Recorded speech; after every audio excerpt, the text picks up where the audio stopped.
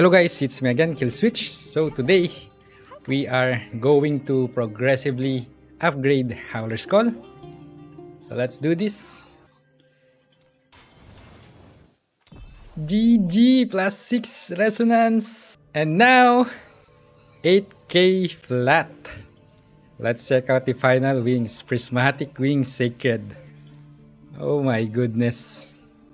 And there is also a special wing action here.